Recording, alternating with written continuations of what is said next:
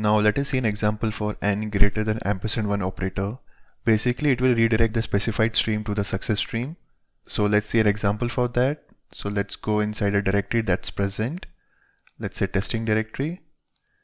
And to get all the child items inside the testing directory, we will take help of get child item cmdlet. And we have to mention the path here and to look for another directory in the same command use the comma and mention another directory. So let's say let's give a directory that's not present on the system. Okay.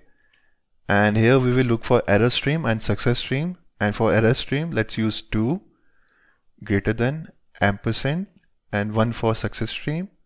And let us store the output inside a file. For that we will use greater than operator and mention the path and let's say sigma dot txt. And hit enter. So in this case it will get the child items for the testing directory. That's true. And it will list inside the sigma.txt file. And it will try to get the child item for this directory but that's not present. In that case it will return an error. And it will write the error inside the sigma.txt file.